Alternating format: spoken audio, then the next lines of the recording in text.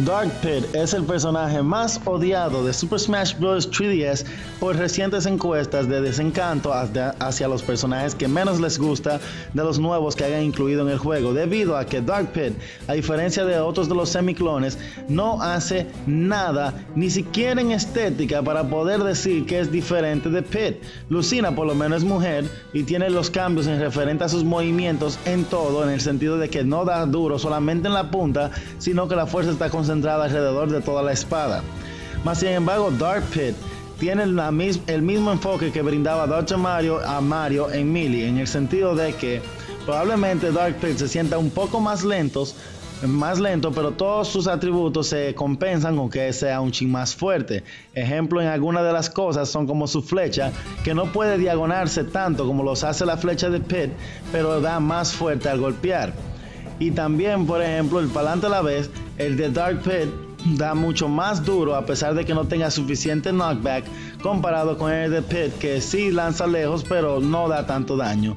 So, esos son de los cambios obvios que se le notan a estos personajes porque también incluso tiene ese cambio en el look, en el color de la flecha, así como el ítem que utiliza para hacer el dash que realizan al lado a la vez Pit y Dark Pit. Más sin embargo, todos sus otros movimientos como los smashes, los aéreos, y los tilts son prácticamente lo mismo y no se le sienten de nada casi diferente. Por lo menos según comentarios, pues debido a mi caso solamente puedo comentar según lo que veo y no de lo que siento. Pero igual, Dark Pit en mi caso me gusta como personaje por el sentido de la rivalidad y etcétera, pero es que las rivalidades se ven más chulas cuando los personajes son totalmente distintos, como lo es en el caso de series como Naruto, donde vemos a Naruto y Vegeta, eh, Naruto y Sasuke, o en Dragon Ball, como vemos a Goku y Vegeta. En el caso de Kid Icarus Uprising, tenemos a Pit y Dark Pit en el cual no hacen nada diferente.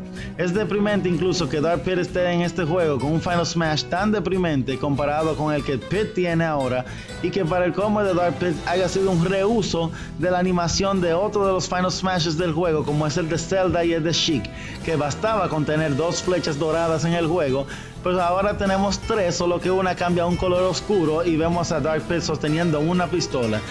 Eh, uno que es otro de los ítems utilizados en el juego de Kid Icarus Uprising. porque eh, dedicarse a hacer este clon de esta manera, a excepción de, o mejor dicho, en vez de utilizar varios de los otros ítems que hay en el jodido juego de Kid Icarus Uprising, que hay demasiadas Incluso el para abajo la ve, por lo menos podía darle un diferente diseño porque hay varios diferentes orbitals en el jodido juego de Kid Icarus Uprising. Más sin embargo, no, vamos a poner a Dark Pit con el mismo para abajo a la B y simplemente sus animaciones coloridas cambian a un tono oscuro debido a ser Dark Pit.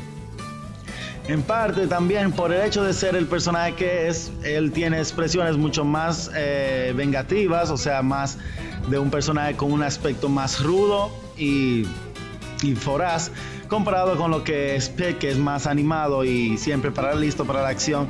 Em, no sé, los sentimientos hacia ese personaje son mixtos debido a que clones es probable que siempre van a ver en el juego de Smash Bros. debido a que Sakurai nos lo ha dado ahora también.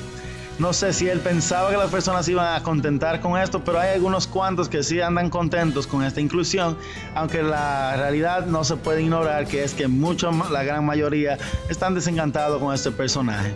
Probablemente sus pocos cambios hagan que una persona decida uno que otro, pero de todos modos Dark Pit no le brinda nada nuevo a la mesa y es lamentable. So, nada.